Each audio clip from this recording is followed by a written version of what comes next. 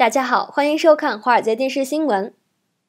加密通讯软件 Telegram 今天指控苹果公司阻挡 Telegram 全球用户更新应用程序。由于 Telegram 拒绝交出解密钥匙，俄罗斯当局下令封锁。据法新社报道，Telegram 创办人杜洛夫在他的动态里写道：“自从俄罗斯当局命令苹果从 Apple Store 移除 Telegram。”苹果一直阻挡 Telegram 全球用户在 iOS 系统中更新应用程序。俄罗斯当局与 Telegram 经长期对抗之后，莫斯科一间法院四月份下令禁用 Telegram。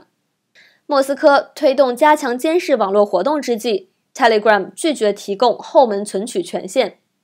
杜洛夫说：“我相信我们做了正确的事情，在一个弥漫不安气氛的国家，保护用户隐私权。”不幸的是，苹果并没有跟我们站在一起。